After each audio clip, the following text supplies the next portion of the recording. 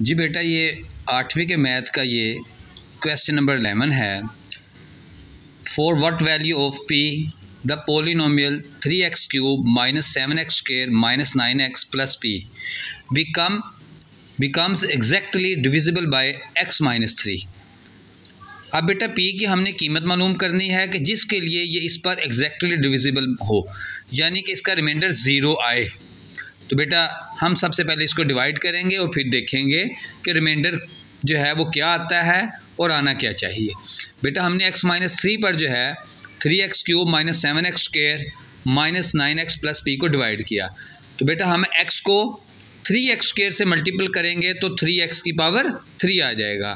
तो बेटा, ये हमने थ्री एक्स स्क्र को जब एक्स से मल्टीपल किया तो थ्री एक्स की पावर थ्री आ गया।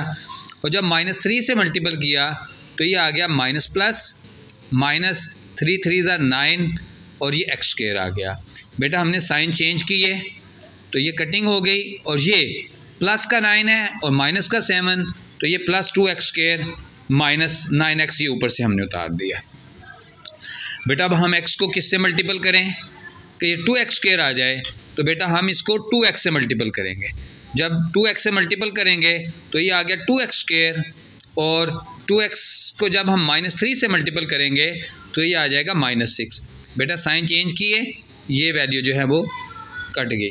तो बेटा, ये माइनस नाइन एक्स है और ये प्लस सिक्स एक्स है।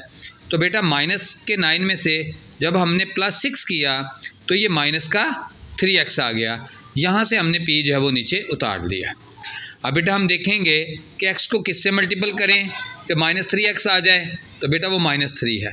तो माइनस थ्री से जब हमने एक्स को मल्टीपल किया तो माइनस थ्री एक्स आ गया। और जब हमने माइनस थ्री को माइनस थ्री से मल्टीपल किया तो फिर वो प्लस का नाइन आ गया। तो बेटा, ये हमारे पास ये वाली वैल्यू कटिंग नहीं होगी क्योंकि ये ऊपर पी है और नीचे नाइन है।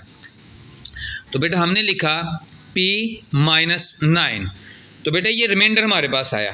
तो फोर एग्जैक्टली डिविजिबल तो जो एग्जैक्टली डिविजिबल होता है, उसके लिए द रिमाइंडर इज़ ज़ीरो तो रिमाइंडर क्या होना चाहिए? ज़ीरो होना चाहिए. तो हमने जो रिमाइंडर हमारे पास आया है, उसको ज़ीरो के इक्वल लिख दिया. तो बेटा P minus nine is equal to zero है. तो ये जो माइनस का नाइन है, उधर जाके प्लस का नाइन हो गया. यूँ पी की कीमत निकल आई nine thus the required value of P is nine